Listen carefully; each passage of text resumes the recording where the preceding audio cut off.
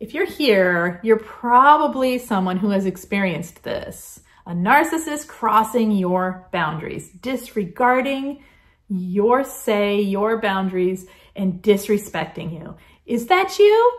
Let me know in the comments. Let's keep going. My name is Lise Colucci, and I am here to help you understand and transform your life after dealing with and having toxic narcissistic people in it. Why does a narcissist cross the boundary?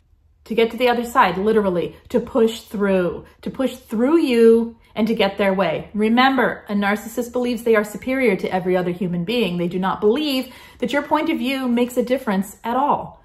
They will pretend to when they are love bombing you, but in reality, they only care about their point of view and getting what they want. They feel entitled to other people, literally. They feel entitled to your time, your energy, your possessions, your emotions, all of it. They're entitled to it. Pushing through boundaries gives a narcissistic person control in the relationship. Have you seen this? My guess is yes getting you to do something that you've already said you don't want to do, pushing through and getting you to speak about things that you don't want to speak about, literally pushing on your boundaries is the ultimate control, especially for the vulnerable and covert narcissists. Because see, they don't have the grandiose appearance. They don't have the charming demeanor. They're not out there sucking the supply out of the life and people and everyone around them. They're not the centers of attention, so to speak. But in relationships, they need the power, they need the control. And covert vulnerable narcissists will oftentimes push your boundaries so hard because they need to feel power. They need to feel in control and they need to feel like like like you will do what they say. They don't really have a full sense of your individuality. I mean, you're there to please them right? If you're relating to this topic, hit the thumbs up, you guys. I mean, and if you're there to serve them, so to speak, in their world, then the only boundary that matters is the one that they place. The thing is, if they break you down, if they diminish your sense of self, if they can push on your boundaries so much that you just give in at, at all costs, it makes their life simpler.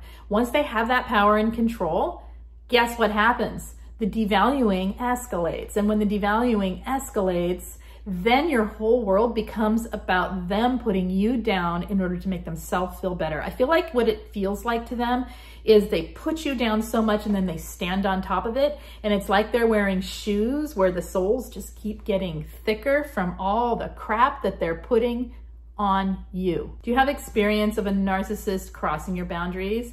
Let me know in the comments if you want to talk about it and help others by sharing your experience with them. So what do you do if you have a narcissist in your life and you're trying to maintain boundaries? Let me know in the comments. Suggestions I would have are keep the conversations gray rock when you feel your boundaries being pushed on because there's a literal physical sensation when someone is trying to push you to do something or say something that is other than you wish to do or say, right? When you've already said no and they're pushing for the yes. You engage with the narcissistic person when they're crossing your boundaries.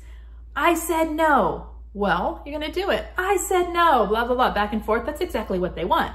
That, my friends, is supply. So don't give it to them cut that back to the bare minimum, gray rock the situation, step away from it, take a breath, and remember you're dealing with a narcissist. Stop asking yourself why they're doing it. We just explained it here, okay? Pay attention. Don't let the boundary crossing create an inflamed and angry reaction from you because it is exactly what the narcissistic person wants and it will do nothing but hurt you. So that's just one tip. For more tips, check out the information in the main description. There is info there for peer support, for group coaching, and for one-to-one -one coaching. And I will see you guys next time. Take care.